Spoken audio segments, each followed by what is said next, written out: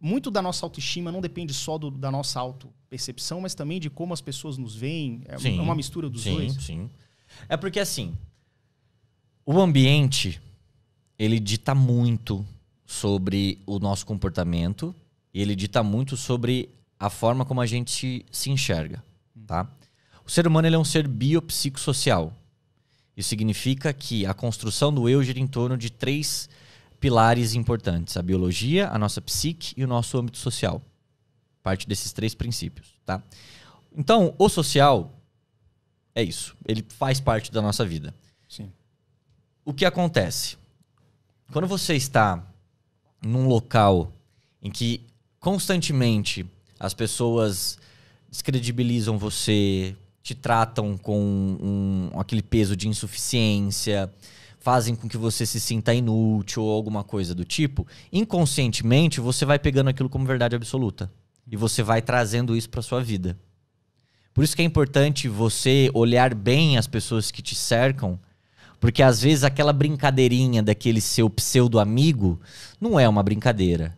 É só uma forma de tentar te colocar para baixo. Porque tem muitos amigos, entre aspas, que querem te ver bem, mas não melhores que eles. Tem muitos amigos, entre aspas, que quando você tá mal, vem até você só para pegar informação. E quando você tá bem, comemorando, te olham com aquele olhar de inveja. Então, o ambiente dita muito sobre quem nós somos. Para que a gente comece a, a, a se amar também, a, a, a construir a nossa autoestima, a gente precisa se isolar de pessoas que colocam a nossa autoestima em xeque. Às vezes fazer escolhas do tipo terminar algumas amizades, sim, se afastar de pessoas. Tem Até mesmo da família. Disso, cara. Até mesmo da família. Até mesmo da família, né? É, ué. Porque o ambiente familiar, dependendo, cara, é o ambiente que mais destrói a autoestima. É o ambiente que mais destrói a autoestima. Eu, eu, como eu lido muito sobre com, com o tema TDAH, muitas pessoas me procuram no inbox e falam assim, pô, Yuri, eu tô querendo. É, eu preciso fazer o tratamento. Um jovem de 23 anos. Uhum. Pô, mas meus pais não, não acham que é besteira, não sei o que, eu tô sofrendo, mas minha mãe não quer saber, meu Sim. pai não quer saber. Eu falo, cara, você já tem 23 anos, cara. Eu acho que você pode, de repente, se organizar ali, trabalhar, não sei, para fazer. Tipo assim, não importa o que os outros falem, é, é o, o, que você sente para você. Você acha que o tratamento vai te ajudar? Uhum. Você acha que você deve buscar isso? Então faça. Tem, porque tem muita gente que espera que alguma coisa venha, uma coisa divina, os pais, amigos, alguém vem salvar a pessoa. Sim. Eu acho que a pessoa, a gente tem que se salvar em algum certo nível. Como é que você acha disso? É, eu acho que o outro ele faz parte do meu momento de me resgatar do fundo do poço. Hum. Ele pode jogar a corda. Ele joga a corda, mas quem resolve escalar sou eu. não adianta eu. jogar 10 cordas não, se você não, não pegar e segurar. Não. Porque uma das ideias ilusórias que a gente tem é tentar ajudar todo mundo. Só que tem gente que não quer ser ajudado. Tem gente que não sabe que precisa de ajuda. Aí a gente tenta conversar com a pessoa e a pessoa não aceita que precisa de ajuda. Porque quando você a, a, entende que você precisa pedir socorro, na tua cabeça você acha que você é uma pessoa fraca. Só que não é bem assim. É do mesmo jeito que você tentar levantar um, levar um piano subindo uma escada nas costas. Nas costas. você quer chegar lá em cima com o piano, você vai precisar de ajuda.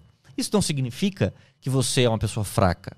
Só significa que às vezes a vida fica mais pesada mesmo. E a gente precisa de pessoas para ajudar a carregar esse peso. Não que alguém vai carregar o seu peso, mas alguém vai te ajudar de alguma forma a fazer com que você consiga carregar esse peso. Sim. Então, é importante compreender a importância do outro na minha vida. Tem momentos da, a, da nossa história que não é bom ficar sozinho. Momentos de término, por exemplo. Não é bom ficar sozinho. Tem gente que se isola, cara. É bom ter um equilíbrio entre o meu isolamento para eu me compreender, porque tudo que é extremo não é sadio. Então, se eu me isolar da sociedade e não ter contato nenhum com ninguém, eu posso criar fobias, certo? Isso me, me afasta de pessoas, fobia social e tudo mais. Uhum. Se eu começar o tempo todo só sair, sair, sair, sair, sair, sair, sair, sem tentar passar pelo processo de autoquestionamento, de conversar comigo, isso significa que eu estou tentando fugir do que está aqui dentro. Então é importante um equilíbrio. E no momento da do término, ou as pessoas se isolam completamente, não é bom.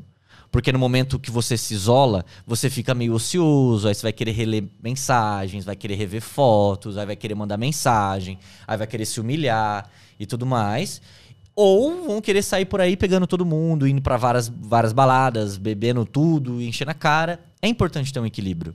É importante você se reaproximar da sua rede de apoio, dos seus amigos, de você ter pessoas por perto, de você poder conversar com isso, disso com pessoas, mas você também indo fazer é, é, coisas boas para você.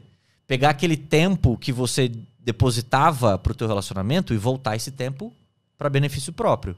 Ir para uma academia, exercício físico, começar a se alimentar melhor, é, regular teu sono. Às vezes fazer coisas que você não fazia há muitos anos e nem lembra mais. Exato. Sei lá, jogar videogame. Tem Exato. gente que fica, tipo, anos e, caraca, faz tempo que eu não jogo um jogo aqui, tá ligado? Mas é aí Ouvir que é um... as músicas que eu via, é, muda muito. Mas é aí que é um problema das relações. A hum. perda da identidade.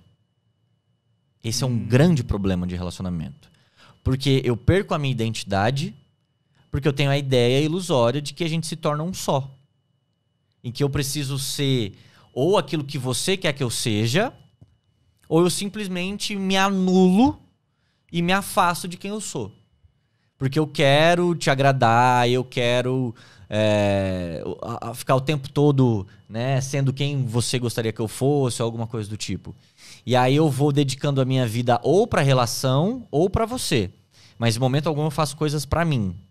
Então por isso que você vê muitas pessoas quando terminam uma relação, a movimentação você vê na internet. A, a movimentação. começa lugares que não ia. É, é.